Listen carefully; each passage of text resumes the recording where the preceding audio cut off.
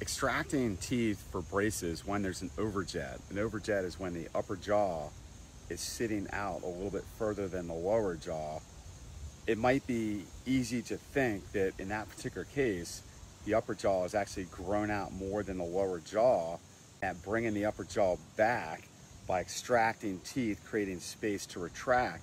It's easy to think that's a good idea, but in actuality, the root cause of why the upper teeth are sitting out is because the mouth doesn't have enough depth for the tongue to really swallow. When people are swallowing and talking, it's putting a forward pressure and jetting out the front teeth. So the correction is to actually create more room in the mouth, strengthen and train the tongue not to thrust like that. If we actually use an extraction retraction technique to treat an overjet situation, what's gonna happen is you're gonna pull those teeth, you're gonna pull the upper jaw back, you're gonna further shrink the space in the mouth, actually exacerbate the functional problem.